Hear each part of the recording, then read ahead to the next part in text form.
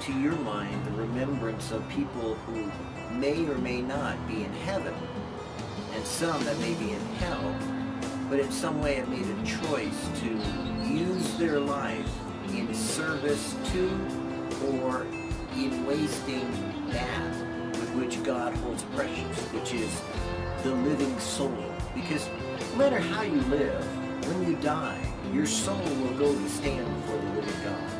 And then, according to what you've done in this life, well, you know, God's going to hold you accountable.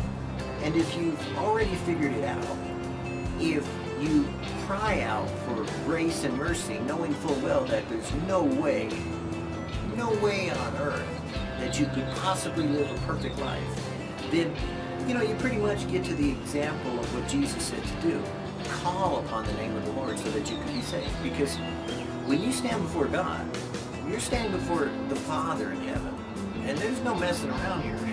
You could offer up every excuse you want to in this life and lay down your life for your country or lay down your life for your friends or do some silly thing with what your life, the fact that you're breathing and have an existence now, you think you understand. Jesus said, you know, this is eternal life, that they should know me and know him who sent me. I kind of would think that maybe along the way you kind of learned not to waste your life.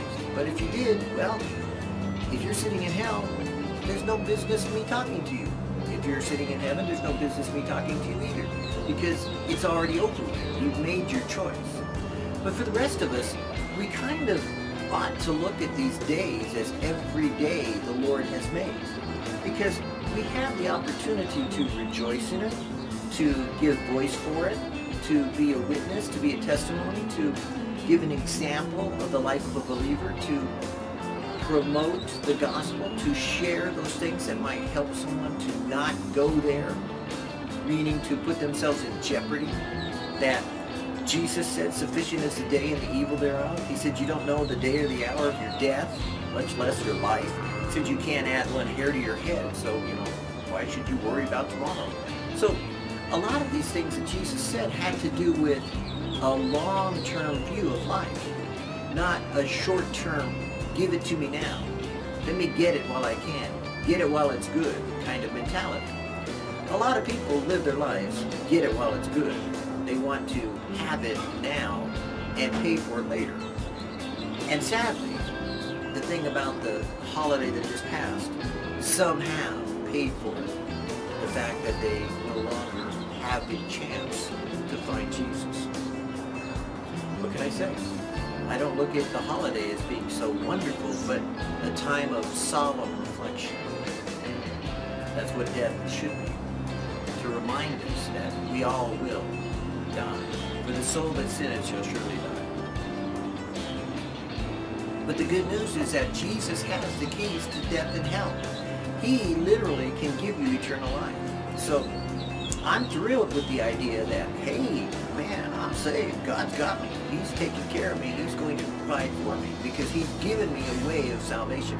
He's given me a way of escape that I'll be able to bear this life because there's no temptation taking me, but such as is common to man. But God is faithful, who will not suffer me to be tempted above that you're able, but will with the temptation also make a way of escape that I be able to bear it. So the fact that I can't live a perfect life is perfect example of what he's provided for me, why I don't go by works of righteousness that I've done or am doing, but rather by his mercy he's saving me because of his grace that he's extended to me because of what his son has done. And I'm thrilled about that part because that's what I want to share with everyone that would dare to listen and care enough about each other to proffer salvation through the gospel that Jesus has proclaimed. To speak liberty to those that are held captive by the sins that they find themselves in that they can't get out of. That they have no other hope except through Jesus to come unto the Father. that they would be saved. So it was an interesting day, and quite frankly, it brought me to what I'm thinking of today as the sun hasn't quite risen over the Wasatch Mountains and we're supposed to have a really hot day. I even got a little sunburn yesterday. But I got singed in such a way that it made me think of something today. Have you ever had anybody rattle your cage? you ever have anybody like push your buttons? You ever had someone poke the bear? you know, throw rocks at the cars? You know, what I mean, don't do that. Or, you know, stick a finger in a hornet's nest. I don't think anyone's really stuck a finger in a hornet's nest, but you get the picture, right? Kind of provoke or invoke or stoke or somehow cause an irritation or an aggravation. Have you ever been walking along and you get a rock in your shoe? You know, it's kind of like, you know, you're just walk along and then you get this little tiny rock. Or even worse, you know, like I have, I do a lot of gardening, so I get this kind of like potting soil. And the potting soil is kind of like chewed up wood. I mean, most potting soils have a lot of wood chewed up in it, you know, like just really tiny smashed up or whatever. Well, every now and then you get these little tiny slivers that you can't see.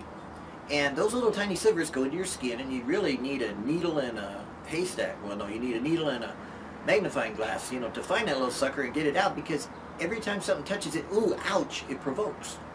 It provokes a response. You go, ow, and you want that sucker out. Well, sometimes people do that to you. Sometimes, whatever reasoning behind it, God allows it for you to learn from it. It's what we like to say, poking the bear. You know, don't poke the bear; it'll wake up. You know, then. Or don't you know like uh, cause someone to stumble is what a lot of people like to say when they're trying to say, oh well, you know, don't don't stumble someone, you know, and they're trying to make you do what they want you to do. But really, the bottom line is, what do we do who have been poked? What do we do who has been provoked? What do you do if you're the one that someone is sticking their thumb in your eye? I mean, do you offer them your other eye? of course not. You pop them one, right? I mean, that's the American way. Or better yet, nowadays, it's you pull out your gun and shoot them. I mean, that's the common theme in the news. It's always interesting to say in the news because you're never going to hear good news, so why do you watch the news? Because it's always going to exaggerate whatever news you got. Everything on a news story is exaggerated for effect in order to cause you to watch it longer and more. And then to exaggerate it to a point of, let's let's discuss that part that doesn't apply and that part that doesn't apply and this. And just in case, you know, we'll cover that too, you know, because we got to keep you on the air. I mean, after all, we're paid for by advertising. That's the news. so I'm always laughing when I say in the news, but you know, when someone, you know, is reporting the stories, you know, you hear about all these, you know, killings by guns, and, you know, it's quite frankly serious topic, but also it's overblown in a lot of ways. I personally don't think anyone should carry guns. I don't think that you should need them. I think God can provide for you better than you can provide for yourself. It's also why I don't say, you know, like the current fun topic of fallacy, in other words, propaganda that's false, that people are saying. It's like, well, freedom isn't free. It's done by soldiers. You know, they died so that you could be free. No, they didn't. They died because they got sent to an army in a terminal situation of a bad location that they shouldn't have been there or might not have been there on purpose, but somebody sent them there. And then afterwards, of course, to the victor belong the spoils, and history is written by those that won quite frankly, the people in the country didn't say the same thing that the people that are uh, went there in war are saying. The people in the country probably said, those invaders. so they're not really saying the same thing Americans are saying about why they invaded the country. They might be saying, we got invaded. And we might be saying, well, we had to protect ourselves. Yeah, okay. You say so. Now, Israel, when it was like surrounded by enemies, God said, don't turn to Egypt. Don't turn to, you know, these other countries, but turn to me. Call upon me and I'll save you. And he even demonstrated it with the Syrians one time where he said, he, I'll even use a bee. I'll put a hornet in their bonnet, you know, so to speak, and I'll drive them out. Remember what we said about provoke the bear? Provoke the bear? Well, God turned the tables on that one. It's kind of like when you provoke the living God, he could use even just one bee or maybe one hornet's nest to drive out an army. And he did. It was really weird, but you know, God said, hey, I've, I've used a bee. I've called them forth. And he even used rumors one time to drive out an army. Oh, sure, people say, but in the Old Testament, God used this and that and the other thing. But what about what he also used? There are examples of him using no forcible means at all. That's kind of interesting. There are examples of God using angels to destroy an entire army in one night. Interesting. But we don't talk about those. We talk about when he sent in Joshua to destroy the land. Well, I think the first time he went into the land, God sent Joshua to march around it, not go through it. So, you know, a certain amount of teaching, you know, you may want to re-examine why you think violence is an answer when God says turn to him. But what I learned this last weekend, as the sun's getting closer to rise, was that people will provoke you. People will invoke certain responses from you that you have control of how you react to those opportunities to present yourself in a certain way or react or act accordingly as God has said to present yourself in a certain way.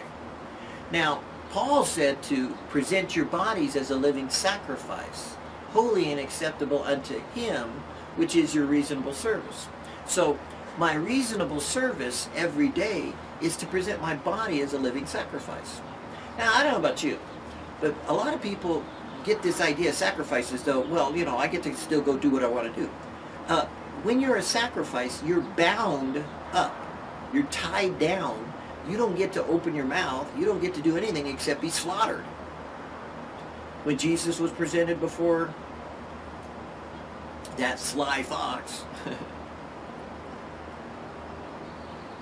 Herod, who was at the time the king of Israel, he spoke not a word because, quite frankly, God didn't want him to. There was no way of opportunity for Herod to turn the tables or to argue or to debate. He wanted him to speak and finally just threw him out of his court by giving him a robe and, you know, sending him back to, I was going to say Titus, sending him back to uh, the Roman procurator.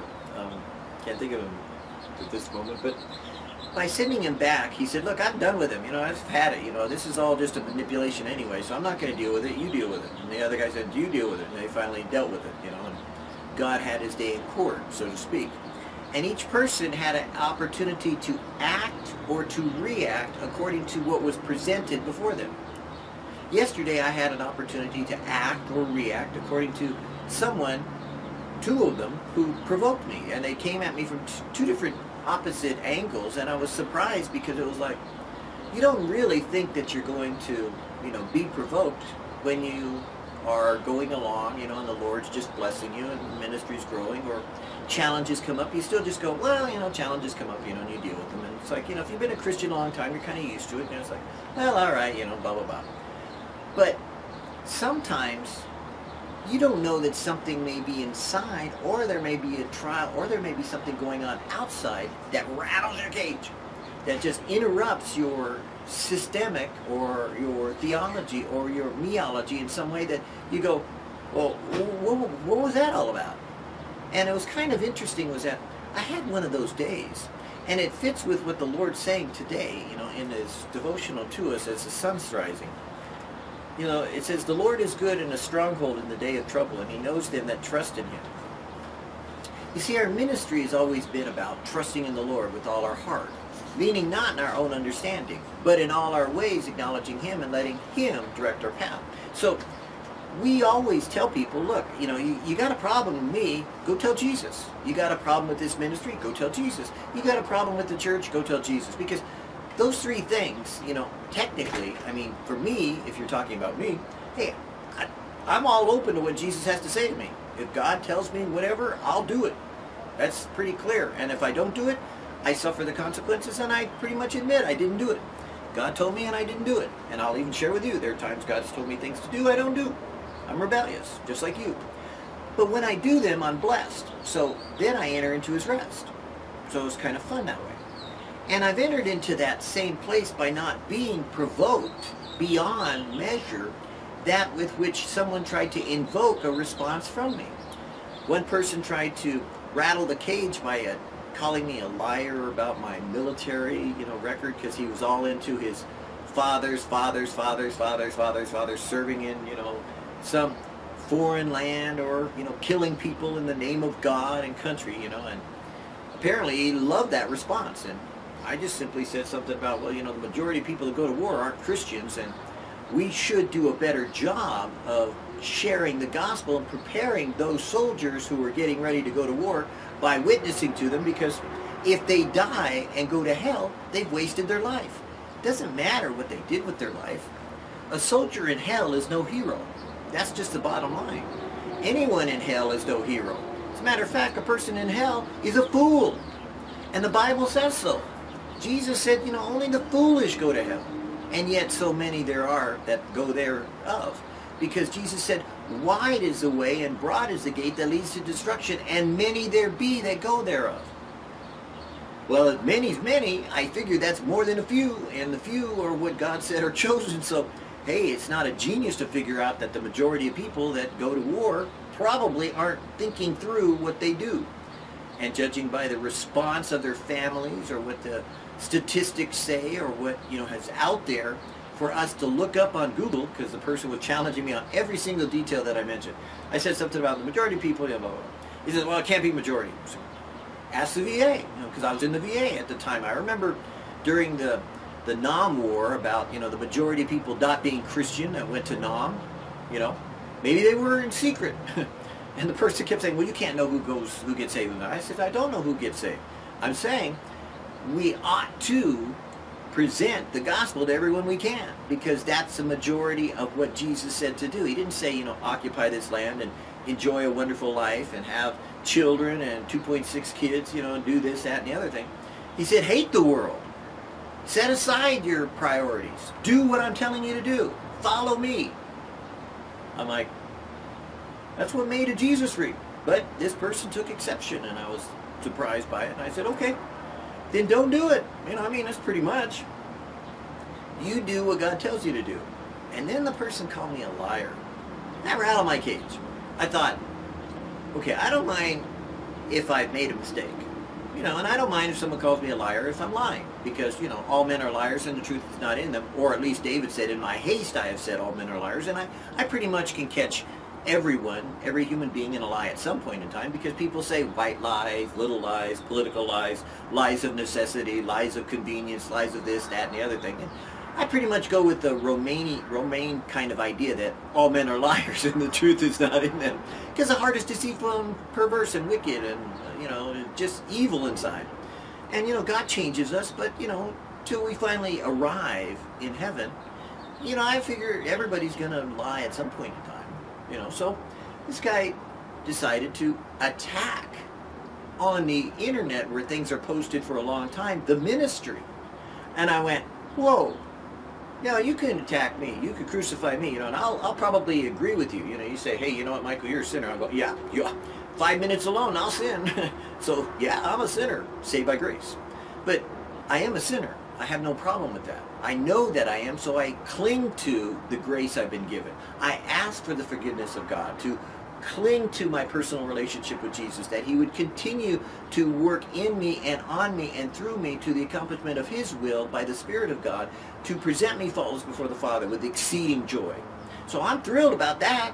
Everybody should cling to that same perspective. But the interesting thing is the person wasn't offering hope. They were offering condemnation. And that's when I take an exception to what they're doing. When you're trying to present what God wants to do for others that they can't do for themselves, when you're giving someone like a life raft or you say, I'm giving you, you know, an opportunity to do something or you're sharing with them something that will help them, you really don't need someone coming along and telling you, you know, well, you're wrong in helping that person. You know, you shouldn't help that person. You shouldn't be saying those kind of things. You, you should you should do it a different way. That's not good. You're wrong. That's false. Well, you know, I say false a lot. But I always back it up with whatever God says at the time, because if it's false, you know, it's pretty easy to prove. So the person came at me, you know, and I, I was like, but Lord, why is this person doing it? Because this was someone that I knew before I got saved. And this person got saved either after I did or sometime along the way. And over the years, once in a blue moon, you know, I've gone to like a class reunion and seen how he's been, you know, and what he's done. And I thought, well, I hope he's okay. You know, I've said, you know, casual prayers for him, you know, kind of like over the years. And, you know, I kind of, well, you know, I mean, he's in a very interesting area where, you know, you, you got all of the gospel that's being presented. I mean, it's like the center of Christianity, so to speak, in some ways. So I was kind of amazed that, you know, it's kind of like the things that I've heard and read and said, you know, and it's like, well, you know, okay, well, people, each one has their own, you know, venue. They have their own ministry, their own little part or big part or whatever part. It may be only one thing that God ever uses you for in this life. But when you do it, you've run the race. You've accomplished the purpose. You may be a little teacup, as we used to say, you know, in God's kingdom and you may be a teacup, but guess what? You're overflowing with whatever little amount of space you have inside for God. The fact of overflowing doesn't change. Whether you're a giant vessel or a little tiny vessel, God wants you to overflow with His love, with His mercy, with His grace. So in that respect, I'm thrilled even as this hummingbird came over, you know, blessed me by going back up there and checking me out. I'm thrilled to preach and to teach and to relate the gospel of grace because I know that no one can present themselves faultless before the Father, but Jesus can present us faultless before the Father. The Spirit of God can do that in us because it's the same Spirit with which Jesus was risen from the dead. So I know that it's not of ourselves, but it's of God's gift to us by what Jesus has done. So when I got rattled, I was a little frustrated and I kept going, but Lord, what is going on? And I just couldn't understand it because the person kept coming back vicious. Have you ever, you know, notice that? Whenever, you know, I mean, I wasn't trying to defend it because that's one thing I know better. You know, you don't defend yourself. You just offer things to try to get them to a conclusion. I always try to point them in a direction that eventually leads them back to Jesus. And so I finally said, look, have you asked Jesus about this? You know, I said, have you talked to Jesus? So the person made a direct, direct confrontation and a direct accusation. And I went, whoa, a direct accusation. I thought, Lord, now I feel sorry for the person. And I did. I felt sorry for him. I just kind of you know, closed the conversations, felt sorry for them, and walked away. Because you see, when you make an accusation, if you're accurate, then you've got the facts and the details. But if you haven't researched it and you have the person, and you're the person being accused, and it's totally inaccurate because you lived it, you go, uh, I could be accused of a lot of things that I don't know about. And I could be accused of never having a baby. You know, if I had said I, you know, gave birth, I'd be a liar. I've never given birth. You know, metaphorically or spiritually. But anyways, my point is, no, I've never given birth. I've never had my womb give birth to a baby. So if I said that I gave birth to a baby, I'd be a liar. The truth would not be in me. But if I said that I have been a father, and I had been a father, which I haven't, but if I had been a father and I had given birth to a child by participating in that donation of part of my seed, and my seed and a woman's seed and God's Spirit came together to form a living soul, then if I said that I have been a father and the person said, well, you've never been, you know, you've never given, you've never had a family, and I had, then I would be saying, well, you know, obviously you're foolish, you know, because you don't know the facts. But the person could say, well, you never gave birth. And I'd say, well, you're right, I never gave birth, but I've been a father, if I had been a father. So this person came and accused me, and I was amazed because I thought about it as I answered them, you know, and I let it go, you know, but then I kind of wept a little bit inside because it was like, why would a person go to that extreme and then make themselves out to be foolish? And then the Lord spoke to me, and it was like, I kind of got all bushy inside and gushy inside. Because whenever Jesus defends you, whenever the Spirit of God apprehends you in a situation after you've gone through the trial, You just go, oh Lord, no. You know, and so the Lord showed me the answer to the question. You know, I mean, the person was accusing me, and I was like, what? Am I wrong, Lord? And that's what I said. I said, Lord, am I wrong? Because there was something about, you know, details, you know. And God showed me exactly the answer, and I went, wow, thank you, Lord. Thank you for the answer. So I gave it to them, and boy, people don't want truth when they're already accusing you. So I gave them the truth and then let it go, and then that was done. You know, it's like I was over with. I didn't give them the truth in public. I gave it to them in private. And then they came back with all kinds of vitriol. And I was like, whoa, this feels like Peter, you know, Peter syndrome. You know, when Peter was telling Jesus, don't go to Jerusalem. And Jesus was saying, Peter, you don't know the big picture. You have no idea what spirit you speak of. I'm going to die on purpose. No one takes my life, but I give it up willingly. So, you know, Peter was like not knowing the rest of the story or the full picture. And quite frankly, you know, I had to let this go because the person doesn't know the full picture or the rest of the story. And I gave them the facts. They can look it up, you know, and find it. But you know, that's what God will do for you. If you have your cage rattled at some point in time, you know, like you're trusting in the Lord, if you're in ministry and you have your, you know, you're, you're a bear of a person and you get poked, God will protect you. If you're some kind of you know, situation or circumstance that you're innocent, Give it over to God and let go. Let Him be your strength. Let Him be your strong tower. Let Him be your defense. You don't have to go on the offensive. You don't have to defend your position. You speak the truth in love and then stop when God says stop. You trust in the Lord with all your heart. You lean not in your own understanding, but in all your ways, of course you acknowledge Him because if you are doing the Lord's will, if, and that's a big if, Sometimes people go out there and they stick their neck out, you know, and they get it chopped off, you know, and I know better. You know, I don't open my mouth unless I know the facts, and I don't tell someone something's false unless I have all the facts. And I make sure that I've researched it all. And then if I'm wrong, I'll say, sorry, I am wrong. And I'll admit it. I am wrong. I have made a mistake. I researched it. I was wrong. There is no, you know, excuse. There's no anything except an apology and this is my retraction and this is my reasoning and this is why I know that I'm wrong and I admit that I'm wrong and I'm fully wrong. But after having done that a long time ago, it's like, I'm very careful about what I put on the internet.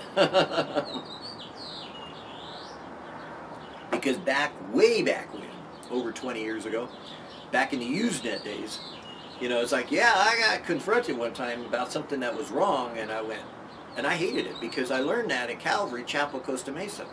Some Christian, or some, yeah, some Christian actually confronted me and said, I couldn't use Behold I Stand at the Door and Knock because it was written to Christians to witness to non-Christians. I went, now obviously somebody's going to argue about that and say, well, you know, you could. I went, no, I can't. Because I was dealing with Jews at the time. You know, I was witnessing to non to uh, Jews that didn't know Jesus. And believe me, if you get into Jewish culture, you're going to find out that Jews know the Bible. Not as believing it, but they know the Bible. You know, for whatever reason.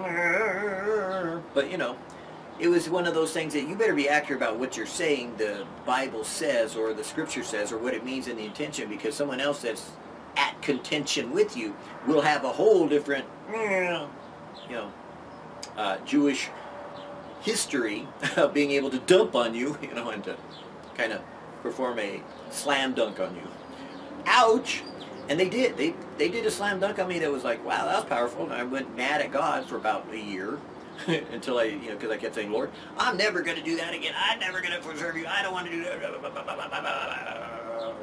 If that's the way you treat me, blah, blah, blah, blah, blah, blah, blah, you know.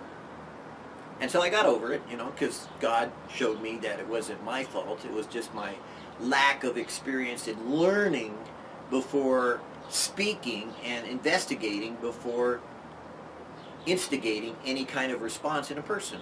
Because I do instigate responses. I want to provoke you in some way. I want to rattle your cage. I want to upset your apple cart. But I want you to see what it is you have in your cart. Wormy apples. Or, you know, you're provoked because you're talking about other things, not Jesus. Or you're saying things that are false, that aren't true.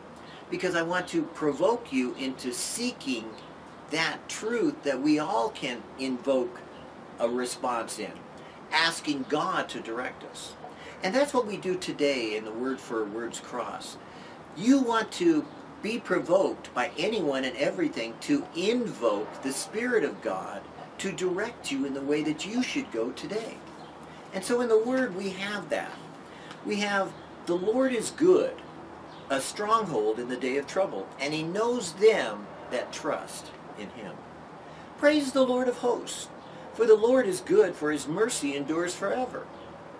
God is our refuge, God is our strength, a very present help in trouble. I will say of the Lord, He is my refuge, and He is my fortress.